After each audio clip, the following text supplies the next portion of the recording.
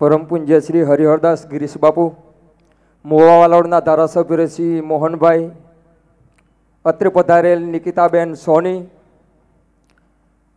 ગામના સરપંચ શ્રી વેલાણપુરના મહાસુગુના ડિરેક્ટર શ્રી હેમાંશુભાઈ સંગીતવૃંદ તેમજ અત્રે પધારેલ ગરબા ગુમા માટે ભાઈઓ, બહેના તથા નાના ભૂલકાઓ.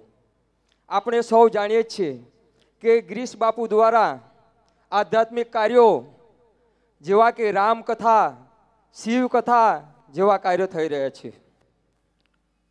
અને બાપુ આજે કેટલાય વર્ષથી વ્યસન મુક્તિનો કાર્યક્રમ કરી રહ્યા છે.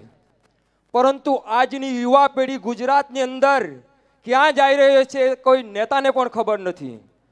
જ્યાં જોઉં ત્યાં દારૂ, જ્યાં જોઉં ત્યાં દારૂ, ગાંજો, ચરસ, જ્યાં જોઉં ત્યાં અને એના માટે બદનામ થાય છે ગુજરાત પોલીસ.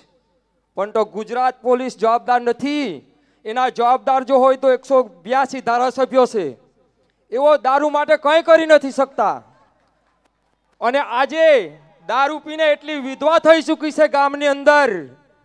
અમારે ગામની બેડા રાયપુરાની અંદર એકસો ને પચાસ વિધવા બહેનો પેન્શન સહાય લઈ રહી છે. તેમાં એકસો વીસથી એકસો ત્રીસ દારૂમાં ગયા છે બધા. દારૂથી મર્યા છે. આજે દારૂનું એટલું ખરાબ વ્યસન છે અને જે વ્યસન આદિવાસીઓની અંદર છે, એને દૂર કરવા માટે આજે તમામ ભાઈ બહેને આગળ આવવું પડશે. અને જો એ માટે નહીં આવીશું, તો આજે કઈ પેઢી ખતમ થઈ જશે?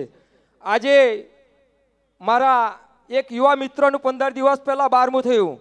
તેની અંદર મહારાજ શ્રી ભરતભર આવ્યા અને એમણે કીધું કે બેડા મોગરાની અંદર જેટલા મેં બારમાં કર્યા છે, એ બધા જ પીવામાં જ ગયા છે.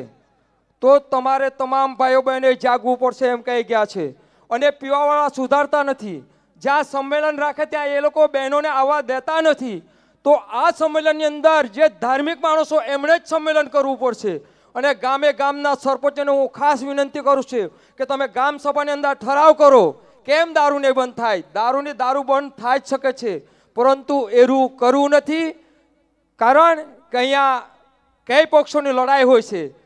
કોંગ્રેસવાળા ભાજપવા માટે ઢોળે ને ભાજપવાળા કોંગ્રેસવાળા ઢોળે. હવે બીજો આજે તો હવે ત્રીજો પક્ષ આવી ચૂક્યો છે. બધા ખોખો જ આપે છે, પરંતુ એના માટે કોઈ કાર્યક્રમ કરતા નથી.